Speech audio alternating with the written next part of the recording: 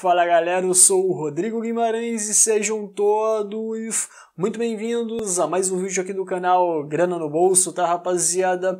Seguinte, no vídeo de hoje vamos comentar primeiramente sobre algo que já é bem preocupante, né, para aqueles que detêm criptomoedas nos dias de hoje, mas que deve aumentar, né, deve explodir consideravelmente no ano de 2021. Pelo menos é isso que sugere um estudo, né, um estudo feito pela Kaspersky, que é uma empresa de segurança digital, e fez esse estudo voltado exclusivamente para as finanças digitais, incluindo Bitcoin e outras criptomoedas. E nesse estudo foi produzido um relatório que traz essa previsão bem preocupante, bem alarmante. Tá? Vamos aqui falar o que, que levaria a esse aumento bem exponencial é, no roubo de Bitcoin e outras criptomoedas para tentar explicar esse estudo e também vamos falar nesse vídeo como é que você se protege desse tipo de tentativa de roubo. Afinal, não é de hoje que estão tentando roubar os seus Bitcoins, né? tanto seus quanto os meus, quanto de outras pessoas. No vídeo passado eu já já mencionei aqui sobre a tentativa de hackeamento das minhas carteiras de criptomoedas, mas felizmente eu não tive meu saldo é, roubado e vou falar novamente para você como é que você se protege e quais são as táticas que você utiliza para se livrar desse tipo de tentativa. E vamos falar nesse vídeo também sobre o caso de um brasileiro que está sendo acusado de ter dado um golpe é, com uma pirâmide financeira de criptomoedas, né, uma pirâmide financeira de Bitcoin e que pode pegar até 70 anos de prisão. De fato, o cara tem a possibilidade existe a possibilidade dele morrer na cadeia, tá rapaziada? Quer saber mais detalhes sobre esse tipo de história aqui, o porquê né, ele teria é, de fato sendo acusado de cometer tais crimes? Então fica comigo até o final porque já viu que esse vídeo tá bem completo e você não tem nada a perder, somente a ganhar, demorou? Agora só um recado rápido para aqueles que ainda não são inscritos aqui no canal, para se inscreverem além disso darem um like e compartilharem com geral. Tem alguma dúvida? Deixa aqui embaixo nos comentários.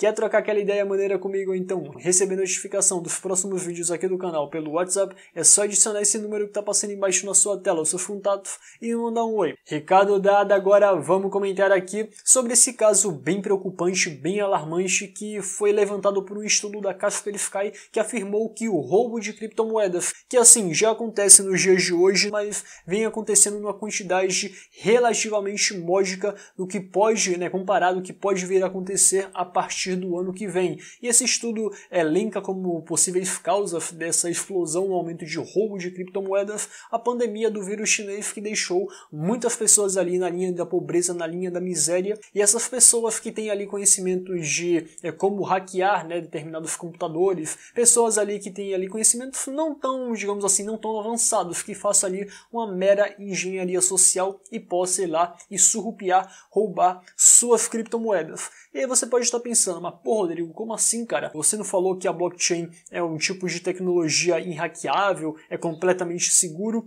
E sim, de fato, a blockchain até hoje não foi hackeada. Eu não diria que seria 100% inhackeável, 100% inviolável, mas sim, a tecnologia é bem confiável e não seria aqui qualquer que iria lá e iria invadir o sistema. Na verdade, nem hackers de alta, de alto cacife, né, de alto conhecimento não conseguem fazer tal invasão, muito menos hackers de conhecimento mediano, tá? Mas o que pode acontecer e o que esse estudo leva em consideração é, como dito, é a chamada engenharia social. Então, você tem as suas criptomoedas armazenadas no seu computador, não tem dispositivos é, que garantam ali a segurança, né, que não permitam que algum tipo de vírus vá lá, invada sua carteira e roube suas chaves privadas. Então, geralmente, quando isso acontece, quando há a invasão do seu computador por algum tipo de vírus, como no caso aconteceu comigo, um ataque de ransomware, como já explicado no vídeo passado. Eu não vou ficar dando aqui muitos detalhes porque eu já mencionei todos os detalhes no vídeo passado, mas eu acabei sofrendo esse tipo de ataque e como eu tinha ali algumas ferramentas que resguardavam alguns aplicativos, as minhas carteiras de criptomoedas, onde eu armazeno minhas criptomoedas, não foram invadidas felizmente, tá? Mas assim, se eu fosse uma pessoa que não tivesse esses dispositivos né, de segurança, eu poderia de fato hoje estar sem minhas criptomoedas que eu no meu computador, tá? Então, a primeira medida de segurança seria essa. E outra coisa, eu falo da pessoa armazenar algumas criptomoedas no computador, mas uma quantia pequena, né? Uma quantia ali é, entre é, 500 até mil reais para cada carteira. Eu acho que a partir disso já fica muito arriscado e eu te recomendaria você guardar ali essa grana numa hardware wallet, né, numa carteira física digital offline separada da rede, separada da internet, onde você não correria esse risco de você sofrer ali tal hackeamento, tá rapaziada? Mas não para somente por aí. Existem também as exchanges de criptomoedas que muitas pessoas acabam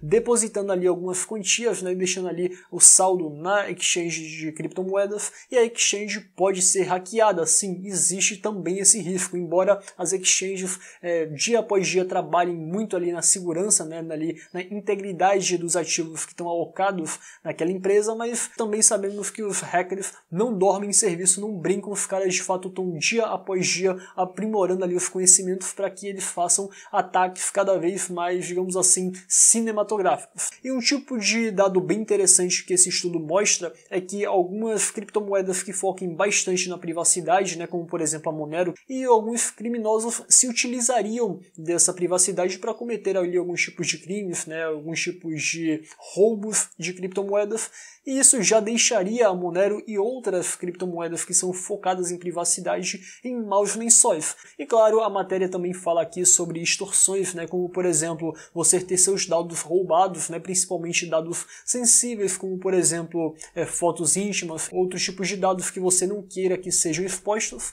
e aí os criminosos te pedem ali uma certa quantia em criptomoedas e você acaba, em é, muitos casos, né, você acaba depositando mesmo que o criminoso ele não cumpra com tal acordo, você acaba depositando e acaba também se ferrando e nesse caso ali também não teria como rastrear devido ali à privacidade quase completa dessas criptomoedas, tá rapaziada? Então muito cuidado. Mas enfim, saindo aqui desse caso, vamos falar sobre o caso do brasileiro que teria dado um golpe né, no esquema de pirâmide financeira com Bitcoin e outras criptomoedas e que pode pegar até 70 anos de prisão lá nos Estados Unidos. Né? Então, caso de fato é, haja ali algum tipo de sentença com esse tipo de pena, né, com, essa, com esse tempo de cadeia, o cara pode morrer na prisão, tá rapaziada? Não é exagero isso que eu tô falando, até porque lá nos Estados Unidos é, o tipo de cumprimento de pena é completamente diferente do daqui. Afinal, aqui no Brasil existe uma série de atenuantes, né, que o preso ele acaba sendo beneficiado. Aqui a nossa, o nosso sistema, digamos assim, de justiça acaba passando muita mão na cabeça de quem é criminoso, mas lá nos Estados Unidos a coisa é completamente diferente tá? E assim, se esse cara ele tivesse aqui no Brasil, possivelmente ele nem preso fosse, tá? Para que vocês é, tenham ali a noção da gravidade do nosso tipo de sistema jurídico. Se ele estivesse aqui no Brasil, ele poderia estar livre, leve e solto, mas como ele estava fora do país e tinha nacionalidade estadunidense, né? Ele foi pego no Panamá, mas foi deportado lá para os Estados Unidos. Agora ele está aguardando ali a sentença dele, né? Ele vai ser julgado e possivelmente será preso e pegar ali uma boa cana. Afinal, o próprio Departamento de Justiça ali que está encabeçando essa investigação investigação, e geralmente quando o DOJ, né, como é chamada a sigla de Departamento de Justiça dos Estados Unidos, acaba entrando, a coisa não fica muito boa para quem está sendo investigado, principalmente se houver ali fartas provas, que geralmente é o que acontece nesse tipo de investigação. Mas o que dizem é que ele está sendo acusado de ter lavado 20 milhões de dólares é, de dinheiro né, que teria sido captado por esse tipo de esquema ilegal. E assim, se fosse ali a chamada lavagem de dinheiro comum, né, para se livrar de uma possível agressão estatal, não haveria nenhum tipo de crime segundo a ética libertária. O problema aqui é que podem haver casos de fraude, afinal o cara ele prometia mundos e fundos, prometia algo completamente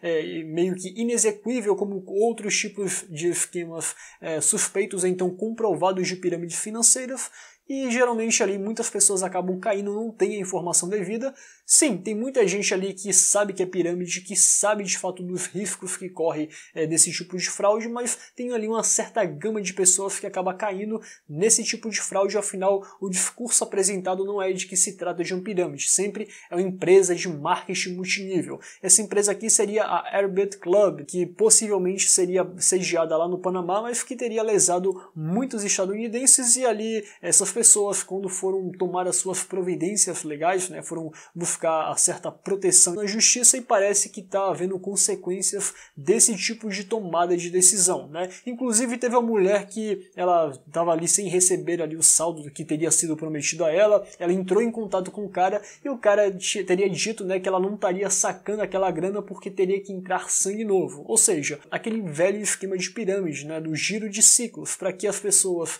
é, recebam, tem que colocar novas pessoas e quando não há mais pessoas embaixo, né, na base da pirâmide, aquele esquema ruim, aquele esquema quebra. Mas assim, como já dito, né, se esse cara aqui, né, se esse brasileiro conhecido como Gutenberg dos Santos, olha só a cara dele aqui, se ele tivesse aqui no Brasil, afinal ele era brasileiro nato, ele primeiramente não seria extraditado.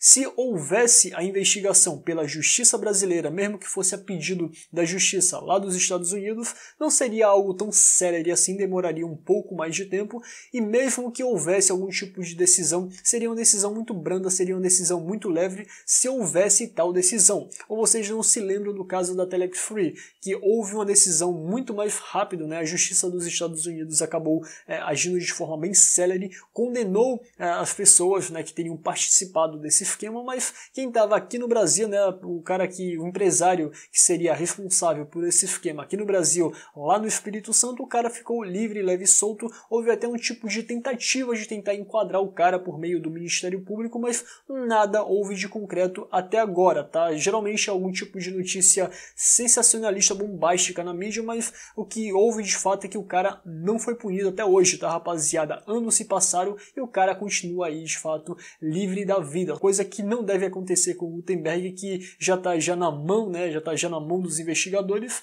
E caso haja uma decisão que não seja muito boa para ele, afinal, cada crime que ele teria praticado, segundo o próprio Departamento de Justiça, seria ali entre 20 a 30 anos de prisão, tá? Isso cada crime. Estima-se que ele tenha é, cometido cerca de 3 a 4 crimes. Então, se você somar todas as penas ali desses supostos crimes que ele teria cometido, se você somar ali toda a pena que seria aplicável nesses casos aqui, daria uma quantia máxima de 70 anos de prisão. Tá? Então, a não ser que ele viva ali cerca de 110, 120 anos, possivelmente ele deve morrer na cadeia, tá rapaziada? E se isso serve de consolo para aquelas pessoas aqui no Brasil que estão assistindo esse vídeo aqui e que perderam grana na Airbet Club, sim, você de fato teria ali a sua alma lavada porque esse cara não está em boa situação, tá rapaziada? Mas, pois é galera, por hoje é só, espero que vocês tenham gostado aqui desse vídeo, tá? Se você gostou, peço novamente o seu like, o seu compartilhamento e nos vemos